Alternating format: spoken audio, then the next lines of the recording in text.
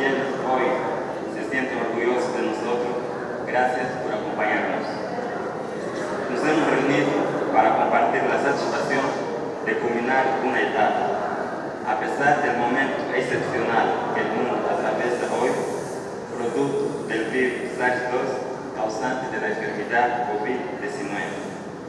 Hoy, para muchos, es el fin de un proceso académico, pero no del aprendizaje.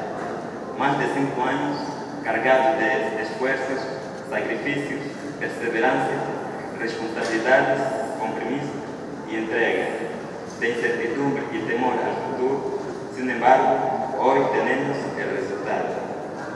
Llegó el día en el que celebramos el fin de un camino que da inicio a uno mayor.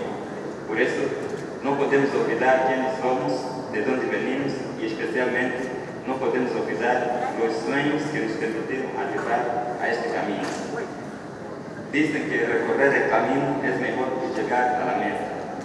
Pero después de vivir esta experiencia de formación, cada obstáculo superado, cada lección aprendida es lo más importante, es lo esencial.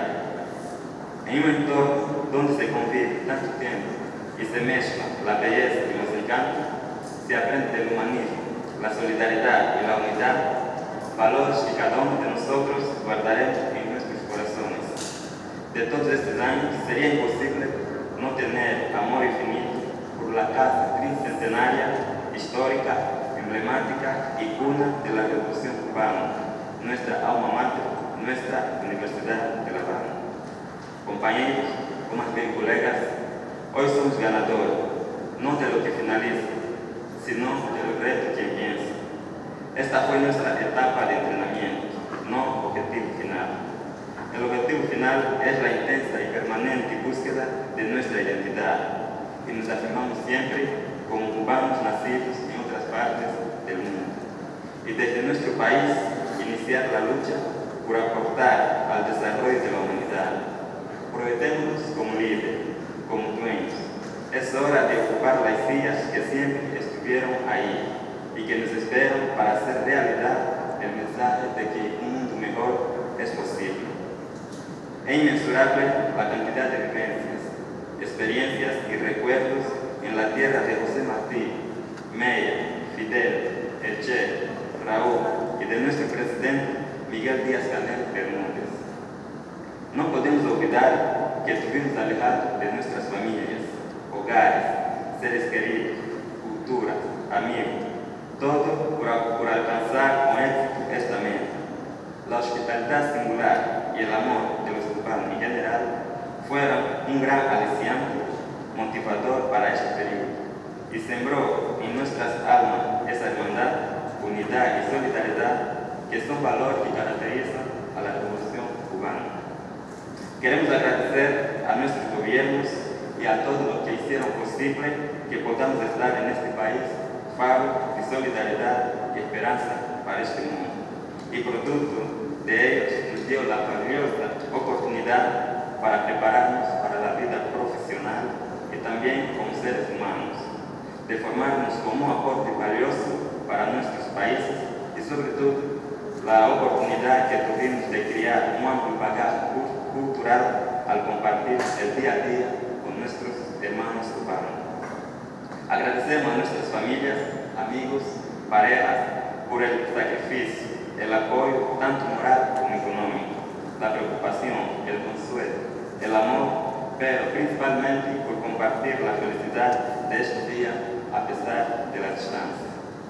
Finalmente, al pensar en el año 2020, pienso en una familia ávida de días mejores para cada uno de nuestros países, para lo cual quiero invocar una frase del legendario Simón Bolívar. Recordemos que las naciones marchan hacia su, su, su grandeza al mismo paso que avanza su educación. Y también a José Martí, ser justo es el único modo de ser libre. Es nuestro deber llevar cada enseñanza en el corazón y ponerlas en práctica, especialmente aquellas que no se enseñan en un sino de la experiencia. Nuestros profesores nos brindaron más de lo que una cátedra estaremos eternamente agradecidos por los valores, por la excelencia y el ejemplo de profesional que hoy queremos ser. Profesores, ustedes fueron los primeros en creer en nosotros y sé que se sienten orgullosos de que hoy sus alumnos se convierten en sus colegas, de que el joven se convierte en adulto. En adulto. Gracias a todos ustedes por llevarnos hasta aquí. De su mano, este también es su triunfo. Hoy se cierra una etapa, pero se, inicia otra.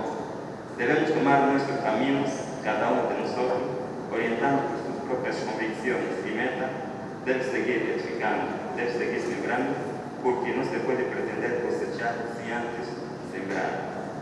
A todos, gracias por estar aquí hoy nosotros y a título personal me permito agradecer a Dios, porque todo es provisto por Él. Gracias, Universidad de La Habana, gracias, Lucas, gracias a todos.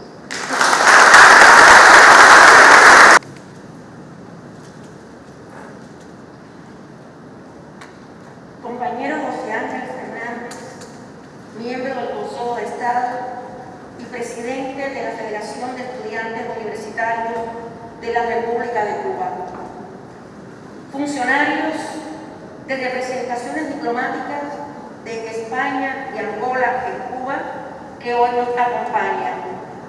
Distinguidas decanas, distinguidos decanos de facultades, directivos de nuestra universidad, queridos graduados, con júbilo la Universidad de La Habana gradúa hoy a 83 jóvenes de nacionalidades hermanas que han compartido durante varios años en nuestras aulas con docentes y colegas cubanos el placer de aprender.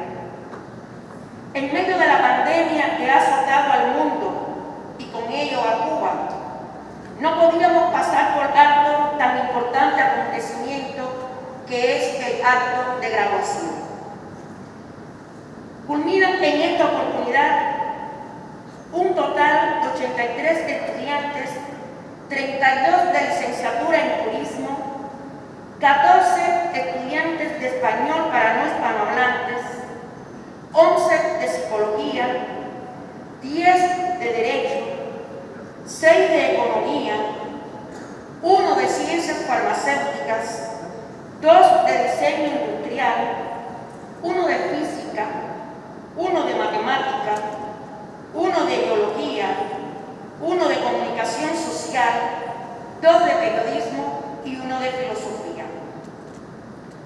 53 proceden de la República Popular de Angola, 12 de Vietnam, 11 de China, 3 de Laos, 1 de Guinea Ecuatorial, 1 de España, 1 de Antigua y Barbuda, 1 de República Dominicana y 1 de Belice partieron un día de sus países con la convicción de regresar y regalar a sus padres y demás familiares un título de graduado que los acredite como profesionales superiores de un alto valor.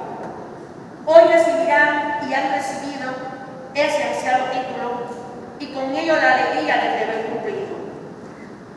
La Universidad de La Habana, acreedora de una rica historia en sus 292 años de existencia, ha compartido con ustedes sus saberes, pensando siempre que nos recordarán y agradecerán el esfuerzo de sus docentes.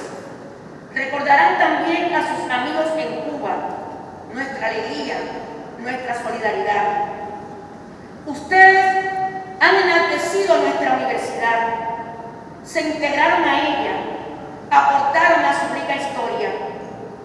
De ustedes hemos aprendido mucho, la perseverancia por vencer cada escaño.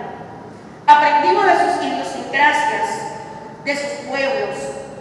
Aprendimos que no hay fronteras, solo hay amigos. Por eso le agradecemos siempre el camino recorrido en la Universidad de La Habana.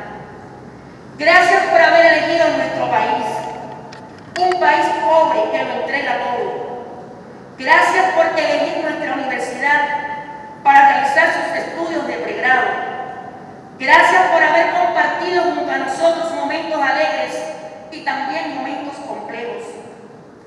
Junto al júbilo de este día, nos embarga un poco la tristeza por el hecho de que quizás algunos no nos, no nos volvamos a ver.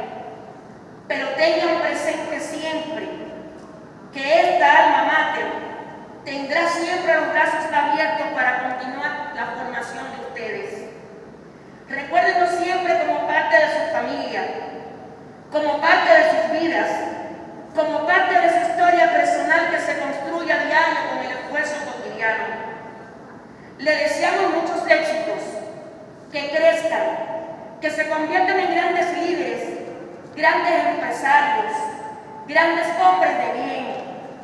Recuerden siempre, patria es humanidad y a ella los debemos. Y recuerden siempre, como decía nuestro apóstol, que el deber de un hombre está allí donde es más útil. Gracias amigos, gracias hermanos y muchas felicidades a todos por el éxito que han alcanzado en el día de hoy. Gracias.